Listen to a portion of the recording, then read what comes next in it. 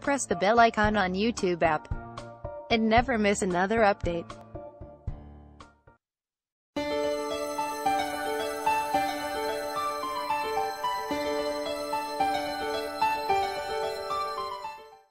Bitcoin जैसी crypto currency को कभी लीगल टेंडर मानने से इनकार कर चुकी मोदी सरकार अब मान रही है कि दुनिया के साथ कदम मिलाकर चलना है तो डिजिटल करेंसी को अपनाना ही होगा। रिज़र्व बैंक की गुरुवार को आई मॉनेटरी पॉलिसी रिव्यू के नतीजे से इसके साफ़ तौर पर संकेत मिले हैं। आरबीआई ने डिजिटल करेंसी को भारत में हकीकत बनाने के लिए एक ग्रुप बनाया है। जून तक यह ग्रुप सुझाव देगा कि भारत में डिजिटल करेंसी कैसे और किस तरीके से मुमकिन है? आरबीआई जिस क्रिप्टो करेंसी को लाएगा, उसका नाम लक्ष्मी कॉइन हो सकता है। करेंसी करेंसी बाज़ार के जानकार मानते हैं कि क्रिप्टो करेंसी अब पारदर्शी तरीके से लेन देन के लिए अब ज़रूरत बन चुकी है। ऐसे में क्रिप्टो करेंसी या ब्लॉकचेन को प्रोत्साहन नहीं मिला तो इस मामले में भारत दूसरे देशों से पिछड़ सकता है। एंजल ब्रोकिंग के अनुज गुप्ता का कहना है कि जब सरकार पूरी तरह से कैशलेस इकोनॉमी पर फोकस कर रही है और डिजिटल ट्रांजैक्शन को बढ़ावा दे रही है, ऐसे में क्रिप्टो करेंसी एक सेफ़ विकल्प हो सकता है। क्रिप्टो करेंसी एक तरह से सिक्योर डिजिटल ट्रांजैक्शन है, उनका कहना है कि क्रिप्टो करेंसी ब्लॉकचेन पर बेस्ड है। ऐसे में किसी भी तरह के ट्रांजैक्शन के लिए पूरे ब्लॉकचेन को माइन करना पड़ता है। ब्लॉकचेन को हैक करना आसान नहीं होता है। बता दें कि आरबीआई ने मौजूदा समय में क्रिप्टो करेंसी की ट्रेडिंग पर तत्काल प्रभाव से रोक लगा दी है। मॉनेटरी पॉलिसी में कहा गया है कि आरबीआई द्वारा रेगुलेटेड कोई भी एंटिटी बिटकॉइन जैसी क्रिप्टो करेंसी खरीदने या बेचने के लिए किसी व्यक्ति या बिज़नेस एंटिटी के साथ डील नहीं कर सकेगी। साथ ही ऐसी सर्विस भी उपलब्ध नहीं करा सकेगी। इस आदेश के साथ आरबीआई द्वारा रेगुलेटेड ई वैलेट और अन्य एंटिटीज पर क्रिप्टो करेंसीज की बिक्री या खरीद पर रोक लग गई है। वहीं कोई व्यक्ति अपने अकाउंट से क्रिप्टो ट्रेडिंग वैलेट्स में पैसा भी ट्रांसफ़र नहीं कर सकेगा। जब सरकार ने क्रिप्टो करेंसी में ट्रेडिंग पर तत्काल प्रभाव से रोक लगा दी है तो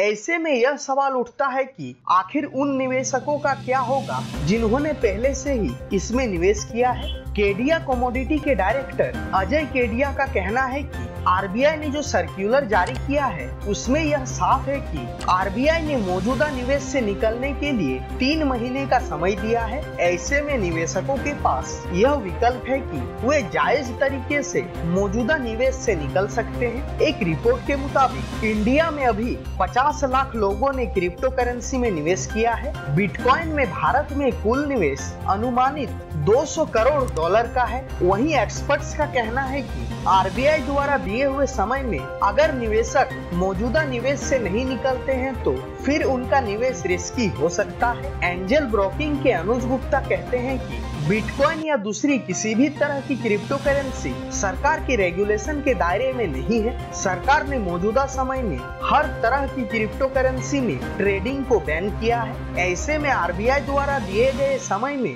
अगर निवेशक बाहर नहीं आते हैं तो उनका पैसा फंस सकता है। अनुज गुप्ता ये भी कहते हैं कि सरकार ने जहाँ डिजिटल करेंसी का महत्व समझा है, वहीं निवेशकों के हितों का भी ध्यान है। सरकार का मानना है कि डिजिटल करेंसी का इकोनॉमी में बड़ा महत्व हो सकता है, इसलिए इसे स्वीकार करने की ज़रूरत है। आरबीआई ने भी इसी महत्व को देखते हुए अपनी क्रिप्टो करेंसी लाने का मन बनाया है। इसी वजह से यह मुमकिन है कि देश में बिटकॉइन या दूसरी क्रिप्टो करेंसी पर पूरी तरह से बैन लगेगा। सरकार बिटकॉइन जैसी करेंसी को लेकर बहुत पहले से ही निवेशकों को अलर्ट कर रही है। वहीं आरबीआई ने भी बार बार आगाह किया है कि देश में बिटकॉइन या दूसरी कोई भी क्रिप्टो करेंसी में ट्रेडिंग मान्य नहीं है। ऐसे में अगर निवेशकों का पैसा डूबता है तो आरबीआई किसी तरह से जिम्मेदार नहीं होगा।